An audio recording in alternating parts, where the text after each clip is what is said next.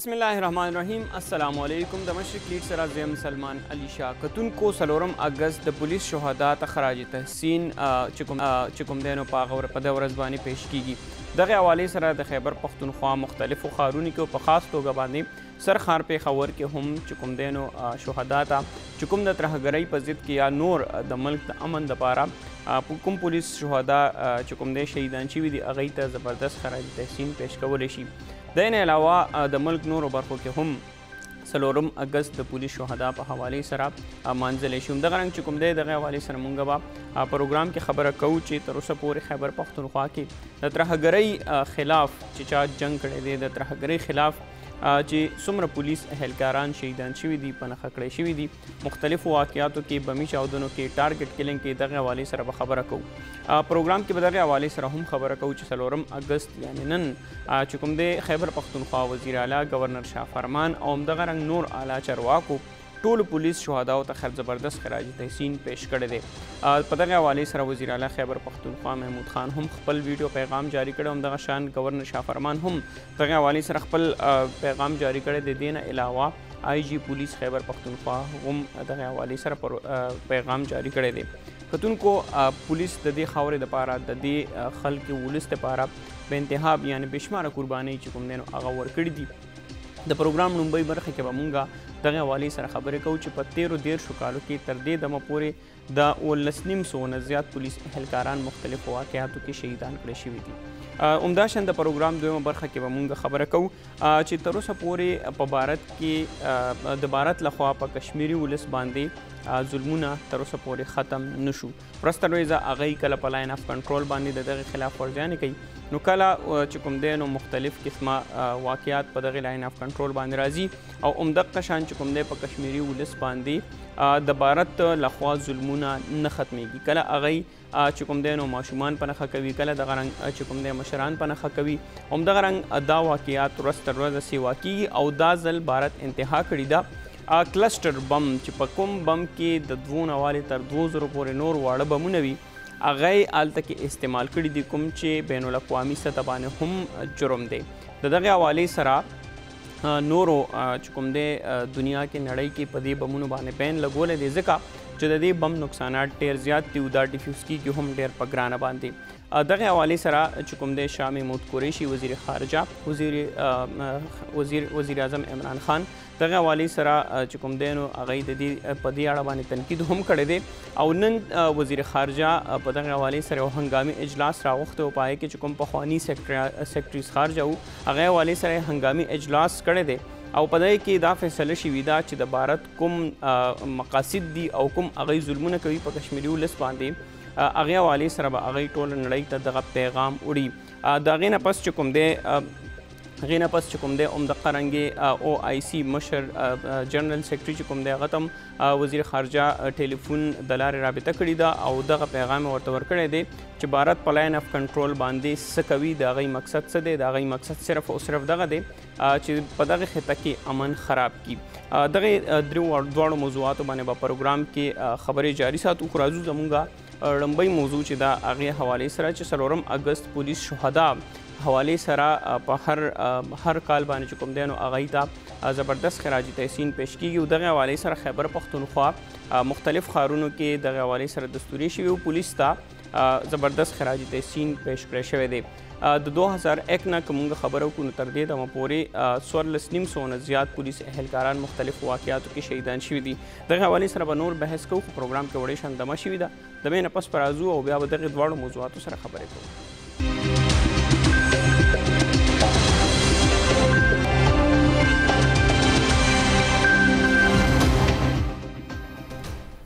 جی مشر کلیټس که یو ځل بیا هرکلی کتونکو خبر روانې دي د پولیس شهدا حوالې سره او څلورم اګست باندې دغه ټولو پولیس شهدا ته خراج تحسین پیش کیږي چا چې د ترهګرۍ خلاف یا د دې خاورې دپاره خپلې قربانۍ ورکړي دي خپلو ځانونو نذرانې پیش کړي دي دغه حوالې سره پروګرام کې خبره کوو خو دغه پولیس شهدا حوالې سره مونږ یو خصوصي پیکج جوړ کړی دی هغه ګورو او بیا راځوم دغه حوالې سره نور خبرې کوو. ترهګرۍ په ضد جګړه کې د خیبر پښتونخوا پولیسو درنې قربانۍ ورکړې دي او هم د دغو قربانو په نتیجه کې نن په ټوله صوبه کې نسبتاً د امن فضا قایمه ده. د کال دوه زره نه تر کال دوه زره نولسم پورې پېښور کې څلور سوه یو کم پنځوس پولیس اهلکار شهیدان کړی شوي دي، دا شان بنو کې یو سل شپېته پولیس اهلکار شهیدان کړی شوي دي، چارسده کې یو اویا پولیس اهلکارو خپل ژوند د لاسه ورکړی دی، همدارنګ نوښار کې اتیش، او مردان کې دوه نوي پولیس اهلکار شهیدان کړی شوي دي. دې نه علاوه صوابۍ کې څلوېښت او کوهاټ کې اته شپېته پولیس اهلکار د وطن د امن په خاطر د ځانونو قربانۍ ورکړي دي. د کال دوه زره نه تر کال دوه زره نولسم پورې هنګو کې څلور پنځوس، کرک کې اووه، ابټ اباد کې اته او هري پور کې پنځه پولیس اهلکار په خپله خاوره قربان شوي دي. دې نه علاوه مانسهره کې څلېرویشت، کوهستان کې څلور، تور غر کې نهه، بنو کې یو سل شپېته پولیس اهلکار شهیدان شوي دي. همدارنګ ډیای خان کې یو سل دېرش، لکي کې شپږیش، سوات کې یو سل درې او شانګله کې پنځیش پولیس اهلکارو د ترهګرۍ خلاف جنګ او په ملک کې د امن په خاطر د ځانونو قربانۍ ورکړي دي. د دې ترڅنګ بونیر کې اتیش، کوس دیر کې اته دېرش، بره دیر کې یو دېرش، او چترال کې څلور پولیس اهلکارو خپل ژوند د لاسه ورکړی دی. د کال دوه زره نه تر شپاړسم جولای کال دوه زره نولسم پورې خیبر پښتونخوا کې په مجموعي توګه څوارلس سوه دېرش پولیس اهلکار شهیدان کړی شوي دي. همداشان د کال نولس سوه اویا نه تر دوه زره اتلسم پورې د ایس آی رینک نه تر آی جي پي رینک پورې اوولس سوه پنځلس افسرانو د ترهګرۍ خلاف جنګ کې د خپل ژوند قربانۍ ورکړي دي. جی کتونکو تاسو وکتو د خصوصي پیکج چې په کوم ډیسټریکټ کې یعنی په کومه ضلع کې د خیبر پښتونخوا مختلفو ضلعو کې د ترهګرۍ په دوران څومره خلک د کال 2000 نه والي تر کال 2019 پورې هغه شهیدان کړی شوی دي مختلفو واقعاتو کې په دغه کې چې کوم دینو بم دماکی هم شوی دي ټارګټ کیلینګ هم شوی دی نور مختلف قسمه واقعات هم مخ ته راغلي وو دغه والي سره مونږ چې کوم د خبرې جاری ساتو دا مونږ سره سټوډیو کې یو ملمه هم موجود دی د هغه تعلق هم پولیس سره دی ایس آی دی د هغه د کور هم چې کوم دی نو درې تنان درې تنان شهیدان کړی شوی دی مختلفو واقعاتو کې په دې اړه بدینا چې کوم دی نو نظر اخلو سالم محمد خان مونږ سره موجود دی سالم محمد خان تاسو ته مشرق لیډز کې هر کله شکریہ جی سالم محمد خان دا راته وایي چې تاسو ټول په پولیس کې وي څوک څوک تاسو د غدرې کسان چې کوم دي دا څوک وو ستاسو څه کېدو چې دا کسان شهیدان شو او کله کله دا شهیدان شوي دي بسم الله الرحمن الرحیم زه مشرق ته خصوصي شکریا ادا کوم د ټول نه اول زه په پولیس ډپارټمنټ کې به تور کنسټیبل برتی شوم دا غي وجوهات څه ډیر دي خو زما مشرور شهید فیض محمد په آټ فروری دو هزار ګیاره کې د مترې په سیمه باندې جی قرباني ورکړه چې د مترې د خلکو خدمت او د ټول ملک او قوم خدمت د پاراغه خپل ژوند تړلی و صحیح د هغه دا خواهش و چې زه د نیم په دې وطن خو زما د وطن د سیمې ځوانان زنانه نارینه ټول دې ژوندي وي که زه نه یم خیر دی. چی. په اټ پروری دو هزار ګیاره کی د هغه د شهادت او د هغه د کور ودان یې پوره یو کال پوره شوی و. چی. په ست فروری دو هزار دس کی د هغه د واده نیټه او جنج شوی و. چی. په دو هزار ګیاره کی د هغه د شهادت اواز وشو چې په شپږ بجې زه په خپل کمره کې په خپل کټ وده وم چې ما ته ټلیفون وشو چې را په شهید فیض محمد باندې بلاش شوی دی او هغه زخمی دی صحیح په هغه توګه زه هسپتال ته رالم چې ما وکتل په وینو لت پت زما رور فیض محمد پروت و صحیح د هغې نه بعد د پولیس یو نفرت جوړو چې هر عوام هر سړی به نفرت کولو او د نفرت په نظر به ورته کتل زما هم داسې یو سوچ جوړو په 20 دس 2013 کې زما د ترزوی چې زما د ژوند ملګری و هغه هم دغه شانتي په د رزاق روډ ناکابندۍ کې د اختر په څلورمه ورځ په خپل ډیوټۍ ولاړو او د ډیوټۍ د راتګ نه تقریبا نیمه ګنټه مخکې ما سره ملاو شو ما ته ویل چې صالح زه ډیوټۍ له روانې ما هغه ته په جواب کې ویل چی ایوب شاه ته ځی خو خیال ساته چی ځکه چې دغه وخت ډیر یو د هور وخت و په هر ځای به هور بلیدو د دهشتګردو د اغیارو یو نخه پولیس جوړه وه او پولیس به خپل زندګۍ او ژوند ته نه پرېښوستل ولی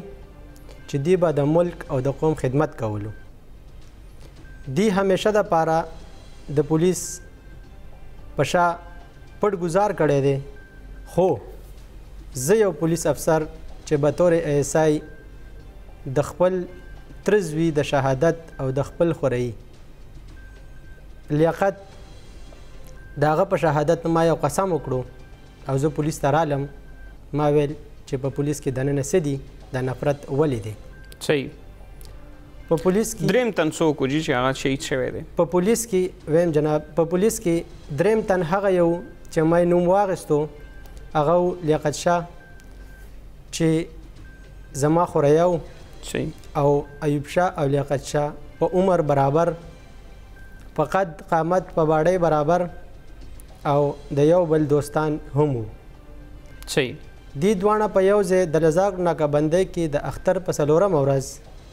په 20 دس 2013 کې دی ډیوټي کوله چې دهشتګرد هغه نشانه جوړ کړه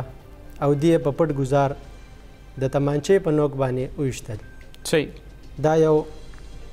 داسې واقعه وه چې زما د زړه درد زما د ټول خاندان درد دا نشي راولې همیشه د پاره چې کله زه پلار یاد کم چې زما پلار زما د زوی فیض محمد نو جی چې دا درې کسان مختلفو واقعیات کې شهیدان کړی شو هغه دورم د ترهګریو نو بیا چې کوم دی تاسو سوچ سره رالی پولیس مو جاین کون تاسو ته نو پکار چې چرته بل نو کری ته تلوي ولی تاسو پولیس فورس ته ولی رالی زه خپله د پولیس محکمې نه ډیر زیات خفه وم په دې وجه خفه وم چې خلک کو یو سوچ جوړو چې یاره دا رشوت اخلي یا دغه اخلي خو چونکه زما چې کله د تر زوی او زما خوریا لیاقت او ایوب شاه دې دواړه په یو ځای باندې شهیدان شول نو ما یو قسم وکړو چې زه د دې پولیس دننه دا ګورم چې آیا حقیقت څه دی او دا پولیس ولې وجلې شي صحیح نو ما دا معلومه کړه چې زه په پولیس کې برتي شوم په دوه هزار چوده کې د هغه قسم په توګه صحیح نو ما وکتل چې پولیس شپه ورځ دا د څه لپاره رونی د څه لپاره دی چې کوم دی دا وردی اچولې ده او پولیس چې کوم دی دا ولې نشانه کیږي د هغې ټولو حقیقت دا ماته معلومه شوه چې پولیس نه خلک نفرت په دې وجه نه کوي چې دا رشوت اخلي رشوت یو عام سیز نه دی صحیح د دغه حواله سره به خبرې کو خو دا راته وایي صالح محمد صاحب چې تاسو په خپل هم دغه خبره وکړه چې پولیس ټارګټ کیږي نو په دغه وخت کې خو چې کوم دی نو په آرمي باندې هم مختلف قسمه اټیکونه شوي دي دا رنګ په سیویلینز بلا بل هاوزینو کې شوي دي چې کوم دور هغه ډېر سخت دور خدای دې هغه بیا نه راولي خو پولس چې کوم دی اوس هم ټارګټ کیږي لګیا دی په مختلفو ځایونو کې او یو نفرت جوړ دی د خلکو دا پولیس ټارګټ کیږي ولی او دا نفرت په کمیږي څنګه د دې حواله سره زه دومره خبره کولای شم چې کله د یو اغیار مخه ونیول شي نو هغه ته که غر ولې رانه شي خو دا غر د لری کولو کوشش دا سړی کوي چې زه دا غر لری کم او دا خپل مقصد حاصل کم د دغه غر دپاره زمونږ پولیس په هر ځای کې خپل ځان دا ورکوي خو هغه غر یې ودرولی دی وایي چې زه ژوندی یم نو انشاءالله زما نه بعد چې کوم عوام دي دوی ته به څوک نقصان نسي رسولی په دې وجه باندې پولیس هر ځای ټارګټ کیږي ځکه چې دی مخې ته یو غر ولاړ دی د اغیارو د دهشتګردو هغې ته لار نه ورکوي صحیح او نو دا نفرت چې کوم دی د پولیس تاسو خپل هم خبره وکړه چې یو نفرت جوړ دی د پولیس نو دا نفرت په څنګه ختميږي پولیس کې خپل خامي نشته دی پولیس کې خامي نشته دی جی دا زمونږ نه خپل پولیس کې خامي نشته دی جی دا زمونږ نه خپل جوړې دي زه خپل چې کوم حد پورې کوشش کوم زه هم دغه وینا کوم چې په پولیس کې خپل خامي نشته دا خامۍ او دا نفرت زمونږ نه جوړ دی کله چې موږ پولیس له لاس ورکو سینام ورکړه نو دا پولیس دا نور څوک نه دي زمونږ د کورونو وتی زمونږ په شان د خلک دي چې زه ستاسو مخې ته ولاړم او زه ستاسو مخامخ ناست یم زم یو پولیس افسر یم صحیح په ما باندې ګوته اوچتیږي اله به اوچتیږي په ما باندې خامي ښکاره کیږي اله به ښکاره کیږي چې زه یو ځای کې قدم ږدم چې زه پټ یم په ما قدم او زما په ګرځیدو زما په نښه باندی زما په شکل باندی خامی نه ښکاره کیږی. صحیح. د هر سړی خامی او دغه چه کوم دی دا د خپل ځانه ده کله چه موږ پولیس له لاس ورکړو دا خامیانی موږ ختمولی شو ښکاری خلکو ته خلک نفرت کوي دغه نفرت دا عوام دا خلک زمونږ په شان د خلک دي دا مونږ په خپل ختمولی شو صحیح دا راته وایي صالح محمد صاحب چې کوم دی تاسو خو خپل پولیس سرویسز ورکوي نن چې کوم دی 4 اگست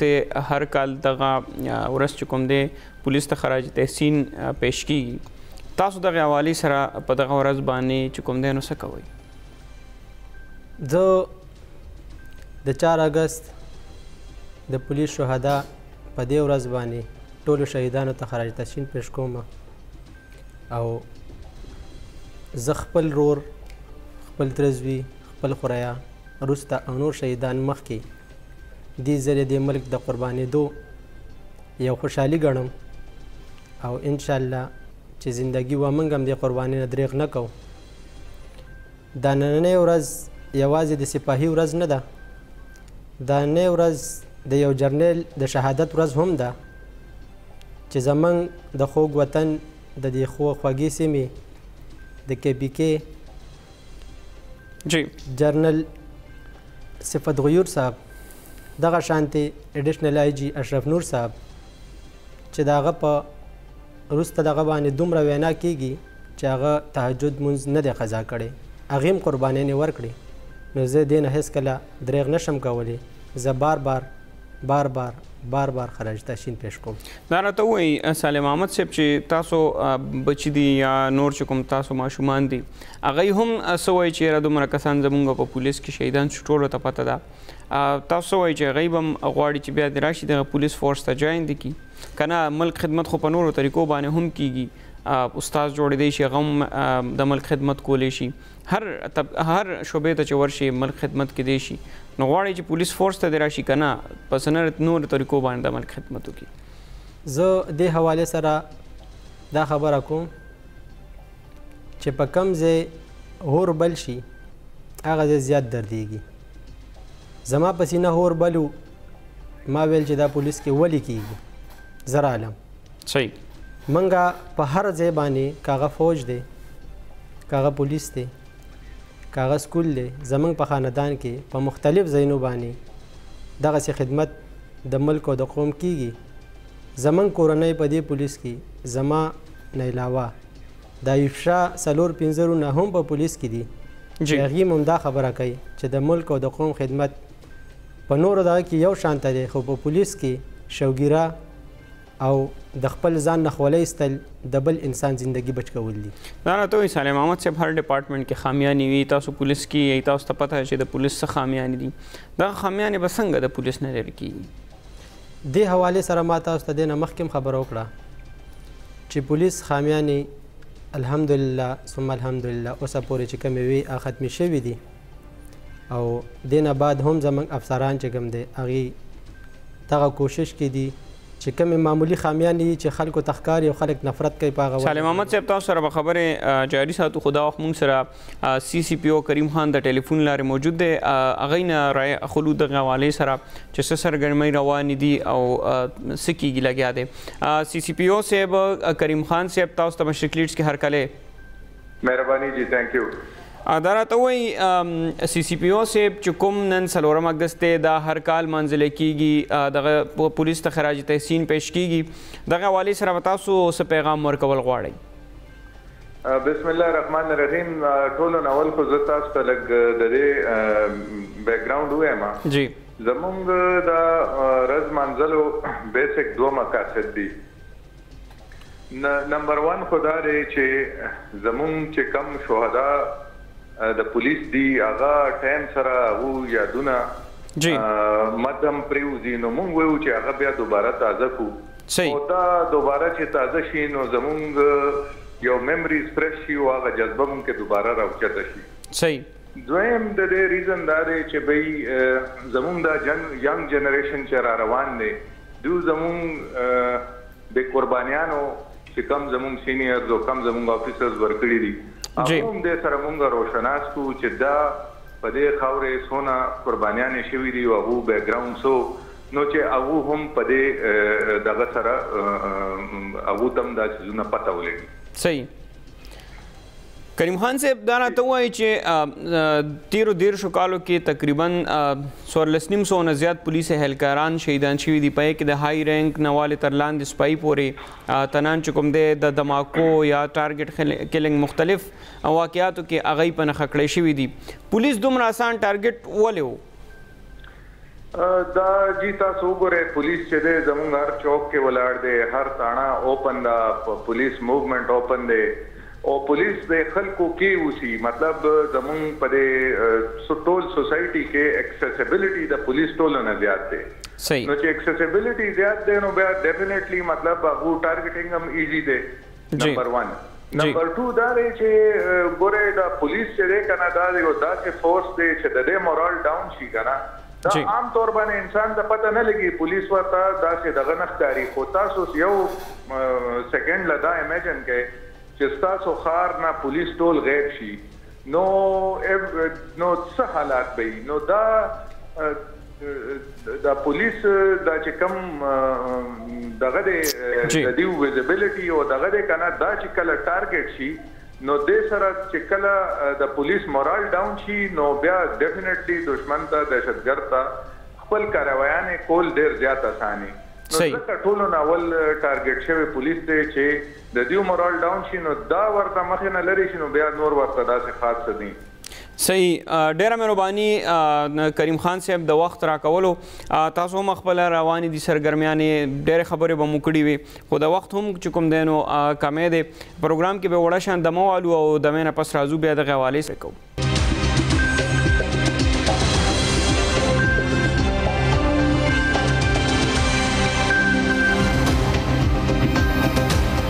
مشرق لیډز کې ځل بیا هرکلې کتونکو د پولیس شهدا او حواله سره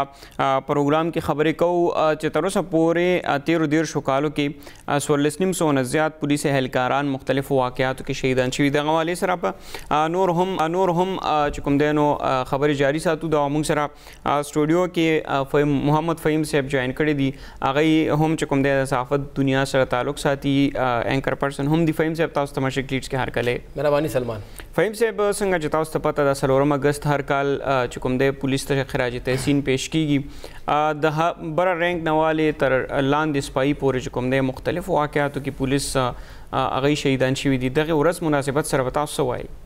بسم الله الرحمن الرحیم سلمان ګوره خیبر پښتونخوا یو فرنٹ لاین سټیټ و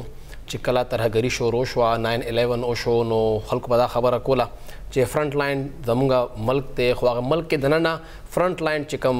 علاقه وه کوم سیمه وه هغه خیبر پښتونخوا وه او بیا هغې نه پس چې ټول نه چا قرباني ورکړه هغه پولیس فورس و ولې چې پولیس فورس لږ ساعت مخکې کریم خان صاحب هم خبره وکړه چې هغه په لارو کوڅو کې ولاړي زموږ حفاظت لپاره هغوی ودریږي هغوی موږ محفوظه کوي او هغوی ځان تړي د هر یو کس ته کله هم چرته اپریشن کیږي چرته کې سرچ اپریشن کیږي یا بل کاروايي همیشه پولیس په فرنٹ لاین وي نور فورسز دا غینه شاته یا غینه پس یا د بیک اپ فورس استعماليږي چې په پیښور کې په خیبر پښتونخوا په کم ګډ کې وي کوم مظاهره وي که یو ځای کې سټرایک کیږي که احتجاج کیږي او که ترهګری کیږي په هر یو ځای کې پلانټ چې کوم ټارګټ دی هغه پولیس دی او پولیس خپل ځان هغه ته نیسی هغه په دې باندې فخر کوي تقریبا 2010 کې یو واقع شوی و چې هغه اوس هم زه اورم اکثر لا زما ځان له پر جسم وختو دريږي چې کله نوخار کې یو خودکش حمله آور او یو کانسټیبل غل غاړه ورکړې و هغه نیولیو ولې چې هغه وخت کې چې کوم بم ډسپوزیبل سکواډ و هغه صرف او صرف پېښور کې او بل ښار کې نو نو دغه ځای نه بیا هغوی نوښار ته تلل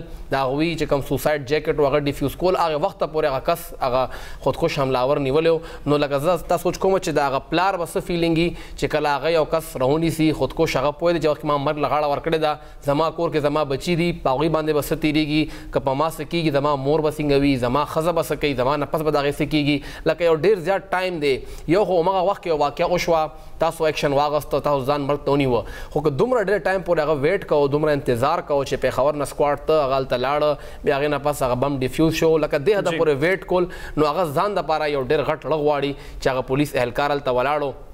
او هغه هلته مرګ ته ځان نیولی و بل خوا ته مونږ ګورو چې دغه پولیس اهلکار صرف کانسټیبل نه دی صرف کانسټیبل خپل ځان نه دی ورکړی زمونږ اعلی افسران لکه نن څلورم اګست دی او دا څلورم اګست صرف دې دپاره منل کېږي چې په نن ورځ باندې صفت غیور صاحب چې کوم هغه وخت کې کمانډنټ ایف سی او تقریبا هغه حال کې ای آی جي لیول د هغوی برابرېږي یا ډي آی جي لیول د هغوی رینکو هغوی هغه وخت کې چې کوم خودکش حمله شوې وه ډین سټیټ سنټر پخوا کې تقریبا هغه سره نږدې ځای کې موږ هم موجود وو چې خودکش حمله په هغوی باندې شوې وه او وجه څه وه چې دا هغه یو ایماندار افسر و چې هغه پروتوکول ونه اغوسته هغه راووته په سګنل باندې هغه ګاډی ایسار شو او د هغې نه پس هغه ټارګټ کړی شو که چېرته نور افسران وی نور څوک وو نو هغه به پروتوکول اغوستی و او هغه دپاره به سړکونه بندېدل او هغه به تېرېده خو هغه به بلکل دا پروتوکول نه اغوسته هغه هلته ولاړ او دا هغه یو کس و چې کله هغه اېف سي ته لاړ نو د اېف سي تشخص هغه دوباره بحال کړ اکثر له به اېف سي خلکو وایي صرف یو بوج دی فایده یې نشته دی خو چې دوی کله اف سي ته لاړل نو هغه وخت تاسو وګورئ چې څومره هم زمونږ فرنټیر ریجنز وو هغه ځای کې اپریشنې شروع شوې هغه ځای کې کاروایانې شروع شوې او ترهګرو ته مسلې شروع شوې چې کله دوی هغه ځای کې بیا کار کو او د اف سي چې کوم هغه وخت کې او ریسپیکټ و هغه هغه وخت کې هغوی دوباره بحال که دا شیزونه یې مخې ته راوستل نو دغه داسې افسر و چې هغه ځان مرګ ته ورکه اوس هم ماته یاد چې کله پېښور کې یو واقعه شوې وه نو هغه ټایم کې دوی پیښور سی سی پی او دوی په خپل خپل لاس کې ټوپک واغشته او اپریشن کې هغه مخ ته ورلل او اپریشن کې حصہ واغسته نو چې کله یو افسر یو کانسټیبل سره یو ای ایس آی سره یو سب انسپکټر سره ولاړی نو دا هغه هم غټ شي چې ګوره زما افسر ما سره ولاړ دی چې هغه ځان مخ ته تړي نو زه ولې مخ کې نشم نو دا زمونږ هغه فورس ته چې هغه ځان مخ ته کړی دی د دوی قابلیت تاسو اندازه ولګوي چې کله په کراچۍ کې په محرم وخت کې یو حمله وشوه نو هغه وخت کې دا خلکو چې دا خودکش حمله ده دې کې خودکش حمله آور و خو چې زمونږ دغه ځای نه ای آی جي صاحب شفقت ملک صاحب ځي نو هغه هلته ودین ففټین ټوینټي منټس ده چې دا خودکش حمله نه وه دا هلته کې یو پلانټډ بلاسټ و بعد کې بیا خبره کلیر شوه چې دا هغه ځای کې یو بکس کې دننه بم ایښودی شوی و نو قابلیت کې هم د خیبر پښتونخوا پولیس سره څوک مقابله نشي کولی او که مونږ هغې نه پس د قربانۍ خبره کوو نو د هغې کې هم د خیبر پښتونخوا مثال څوک نشي ورکولی بل څوک داسې شته نه چې هغه صاحب دې ته نږدې هم ورسي بیا تاسو وګورئ چې صرف دغه حکومت و دغه یو سیمه وه چې هغوی د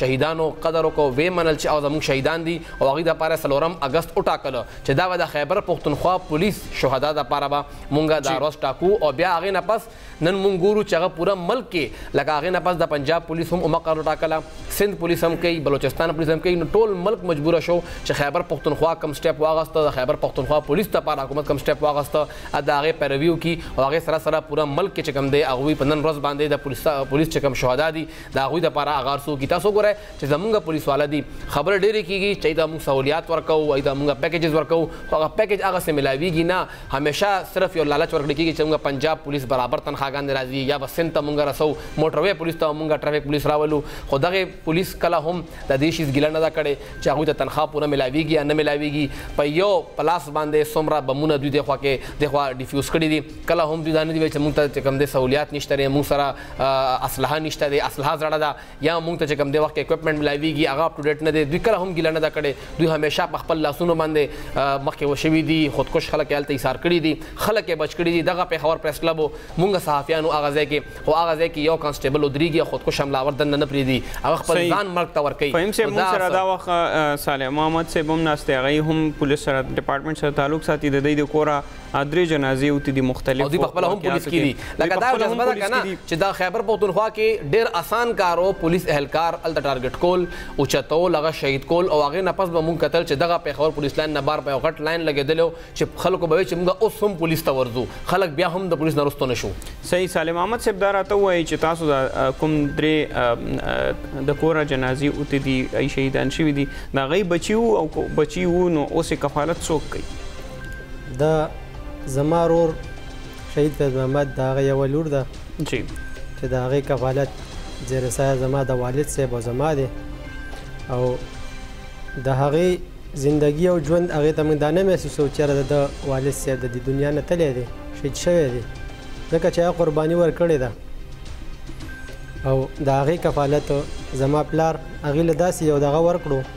مینه یې ورکړله صحیح یوه ماشومه ده چې هغې له دومره مینه ورکړه چې هغه مینه موږ ته نه ده میلاو شوې او هغې ته میلاویږي صحیح ډیره مهرباني سالم احمد صاحب چې تاسو را لې پروګرام کې موږ سره شرکت وکړو فهیم صاحب موږ سره موجود وي پروګرام کې وړې شان دمه وخت شوی دی او دمه نه پس راځو بیا چې لاین اف کنټرول باندې د بھارت لخوا او کشمیر کې د بھارت لخوا کوم ظلمونه روان دي د غیا والي سره خبرې کوو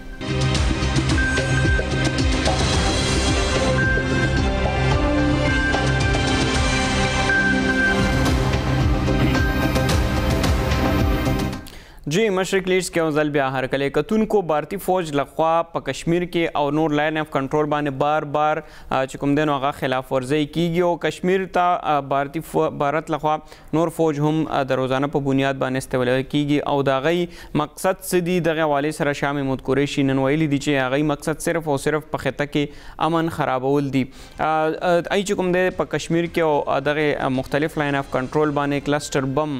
هم استعمال کړی دی دغې نه علاوه هغوي نورې ګولهباریانې هم کړي دي او د روزانه په بنیاد باندې ډزې هم کوي د کوم تصدیق چې آی ایس پي آر لخوا شوی دی دغې حوالې سره مونږ یو خصوصي پیکج جوړ کړی دی هغه ګورو بیا راځو دغې حوالې سره نورې خبرې کوو. کلسټر بم د فضا یا ځمکې نه د غورځیدونکي ګولو یو داسې قسم دی چې پکې دننه نور واړه بمونه موجود وي. دا ګوله چې کله ویشتل شي نو د دې نه راتلونکي نورې وړې وړې ګولې په لویه پیمانه علاقه کې دځاني نقصان یا ګاډو تباه کولو لپاره استعمالیږي. یو بنیادي کلسټر خالي شیل وي چې دننه یې د دوو نه تر دوو زرو پورې واړه بمونه موجود وي. د اولني کلسټر بم استعمال د دویم عالمي جنګ په دوران سویلین او عسکري هدفونو خلاف شوی و. دا ګولې د حملې په وخت او وروسته سول ابادۍ ته نقصان رسولی شي. که چېرې ناچاودي ګولې لرې نه کړی شي یا ناکاره نه کړی شي، نو د اوږدې مودې نه پس دا د نقصان رسولو صلاحیت لري او د دې لټولو او لګښت هم زیات وي. همدا وجه ده چې دوه زره اتم کې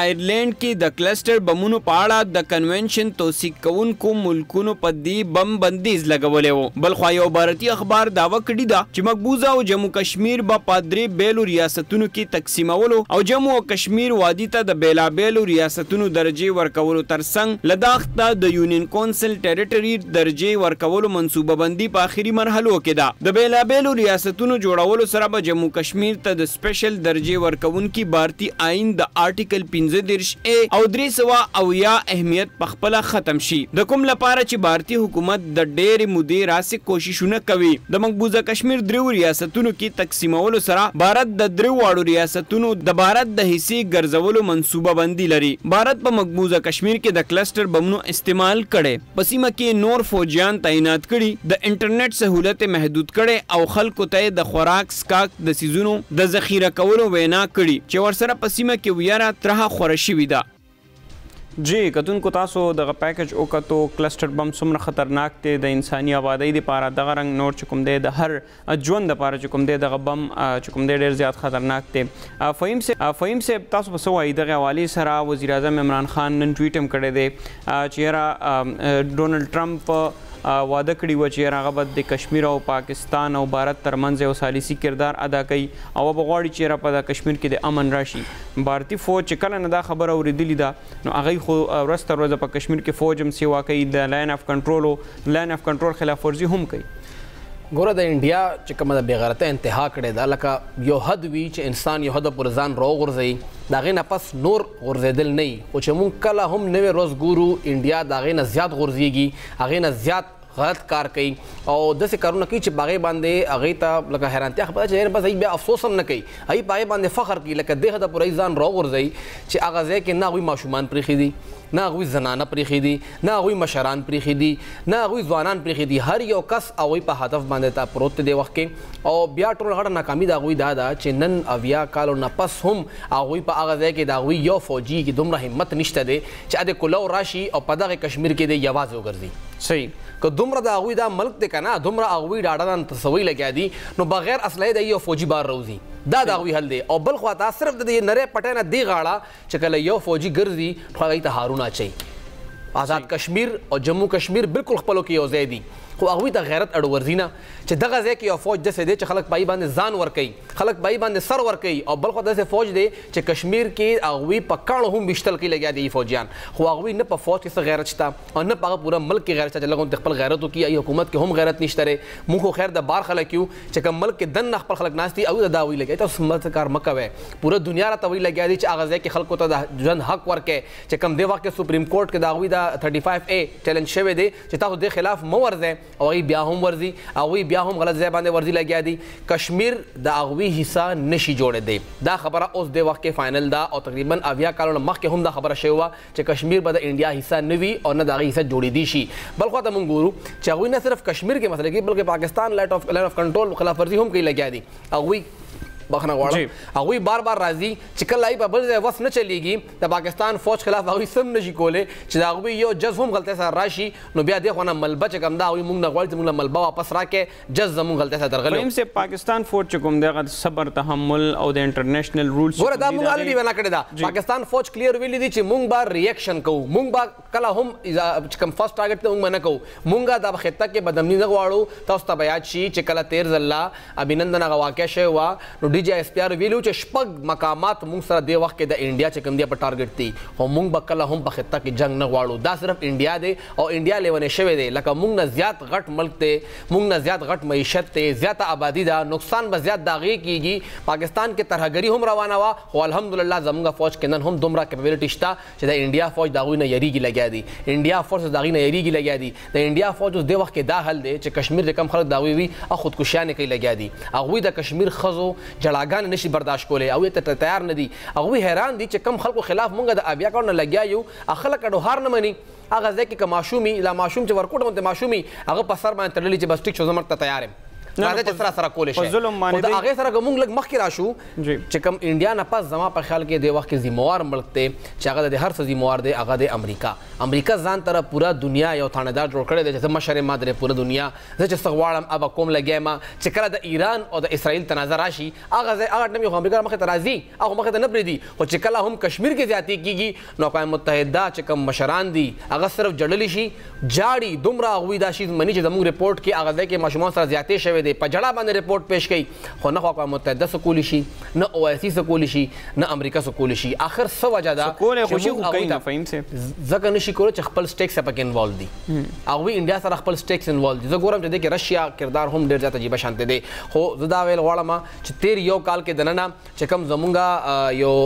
ویل شي خالی فرنټ او هغه سفارتي فرنټ مونږ هغه ځای باندې ډیر زیات کمزوري یو په تیر یو کال کې مونږ ډیر زیات خشي یو تاسو وګوره ډونلډ ټرمپ چې را پاسي او هغه دا وی لګیا چې کشمیر معاملې کې سالسي غواړم نو دا انډیا نه غواړي دا پاکستان غواړي چې سالسي وشي پاکستان دا وی لګیا چې تاسو کشمیرانو له ژوند حصہ هم حق هم ورکه چې هم خپل حق تیر کی نو که انډیا امریکا پاسي ادا پاکستان د بیانیه توثیق کوي لګیا دا پاکستان ګټه ده بل خو ته مونږ ګورو کدا شاه محمود قریشي سه یو انتهایی متحرک وزیر خارجه دی د چیف شک نشته چې پوره کابینه کې ډیر لږ د کسان چې کار کوي او کې یو کس شاه محمود قریشي هم دی چې هغوی په وړ وړ مسله باندې هم دومره دنیا ته وینا کوي چې دا مسله ده تاسو په دې باندې کار وکړئ دا شیز حل کول غواړي چې کومه د پورې پاکستان کولی شي زمونږ مورل او سفارتي همیشه مونږ انډیا سره ولاړ یو هغوی هم دا وینا کړې ده او اوس هم مونږ یې سره ولاړ یو ولې چې مونږ د یو کلمې مسلمانان یو یو خطه ده انسانیت ته کلمه هم بات کې راځي انسانیت ته که میانمار کې هم ظلم کیږي هغه خلاف مونږ درېګو او که فلسطین کې هم کیږي هلته مونږ درېګو دلته به هم مونږ درېګو خو خبره دا ده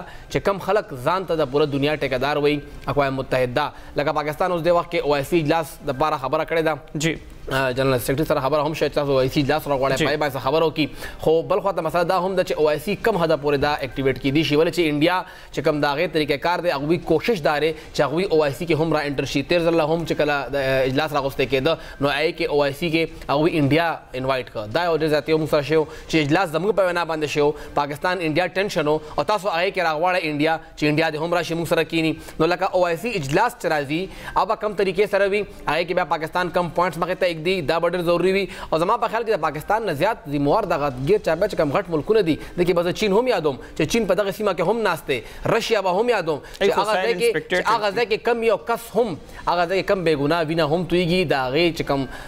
ذموار دی هغه چین هم دی هغه امریکا هم ده هغه هغې سره سره رشیا هم ده خو زه دا ګڼم چې پاکستان څنګه خپل سټډي جوړ کړی دی وخت کې تیر یو کال کې الحمدلله پاکستان اوس د وخت کې په سفارتي فرنټ باندې یوازې نه دی دا یو پاکستان ته فائدہ شته ولې چې پاکستان واحد ملک ته کم چې د کشمیر نریټیو اوچتۍ لګیا دی کشمیر کې چې کم ظلمونه کیږي لګیا دي لکه صرف په شپږ میاشتو کې چې کم تیر شپږ میاشتې دي هغه کې یو ان دا وایي چې 200 او اویا خلک د وخت کې په کشمیر کې شهید کړي شوی دي کم چې د یو ان فګر دی لکه دا غ فګر نه بغیر دی کم چې په ګراوند باندې کیږي یو ان ته کم حد پورې اکسس ملاويږي دا صرف هغه فګر مخ ته راوړي یو دیش پکې ماشومان شهید کړي شوی دي لکه ماشوم متا تاسو وی کنه د حد پورې دوی ردلې د ماشومان نه هم کشمیر کې چې ماشوم ته هم دوی د ټینګې نه دی آی ته هم نشو درې دی نه ماشومان پری دی نه زنانه پری دی نه مشران پری دی او دا په خپل هم دی منی تاسو ګوره چې کله هم عبد الله عبد الله غ سټیټمنټ مخه تر راځي یا هغه ځای کې چې کوم سابقه سی ام پاتې شوی دی خبره مخه تر راځي چې دغه خطه د انډیا په لاس کې نه ده انډیا لاس نه متره لکه څومره فوج د انډیا په صرف کشمیر کې پروت دی د پاکستان کل فوج دومره دی لکه دې هدا پورا غیرال مونږ چی واړه وو او تر اوسه پورې مونږ ګورو چی انډیا په زور باندې دا ځای قبضه کول غواړي خو نیشي قبضه کولی اوس د هغوی چې کوم حربي دی هغه بدلیږي د هغې چې کوم سپیشل سټیټس دی ختمولو کوشش کې لګیا دي خو دې کې به هم هغوی کامیاب نشي کوم حل چې دوی روان کړی دی چې کوم پاکستان پیلنرز باندې یو مطالبه وه اوس هم هغه مطالبه ده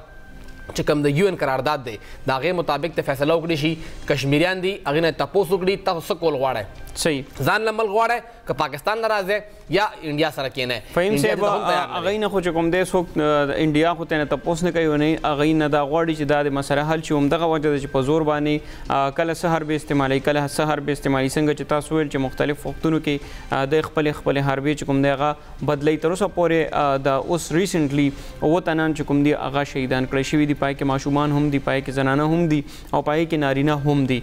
دغه حوالې سره که مونږ خبرو کو شاه محمود قریشي فهیم صاحب نن چې کوم دی اجلاس هم راغوښتی او دې پخوانو سیکرټریز هغوی سره او دغه حوالې سره خبرې اترې کړي په هغې کې دا فیصله شوي ده چې هغوی به د کشمیر اواز په هر فورم باندې پورته کوي او همدغه ده چې هغې د پسته بیا او ای سي سیکرټري جنرال سره هم خبرې اترې شوي دي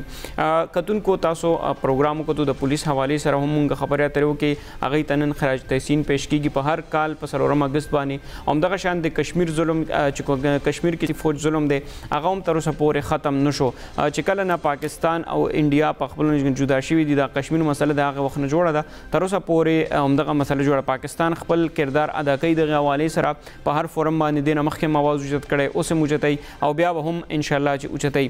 خو بھارت نه غواړي چې دغه مسله په مستقله توګه باندې حل شي په زور باندې غي دغه کشمیر راولې دوم دغه وجه دا چې ای په لاین اف کنټرول باندې بیا بیا مدام چې کوم دی دغه خلاف ورزي کوي او پاکستان کله هم چې کوم دی نه غواړي چې په دغه